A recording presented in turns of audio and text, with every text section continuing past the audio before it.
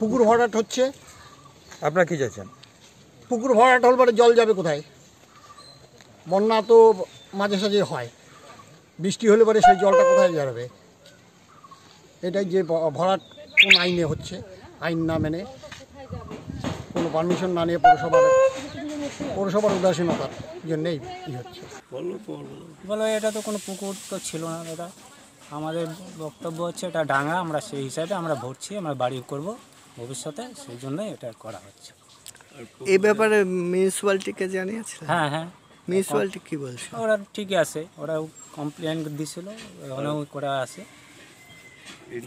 Inquiry করা হয়েছে এটা ডাঙ্গা আপনারা ভরতে পারেন পিছনের ওইটা পুকুর সামনের এটা হলো হচ্ছে আপনার ডাঙ্গায় কিনা আমরা ভরাট করতে করতে পাড়ার লোকরা বাধা দেয়। এবং মিউনিসিপ্যালিটিকে জানাই। মিউনিসিপ্যালিটি তখন এদের কাছে সব কাগজপত্র শো করে করে। কাগজপত্র দেখে মিউনিসিপ্যালিটি আবার ভরার পারমিশন দিয়েছে, আমরা ভরাচ্ছি।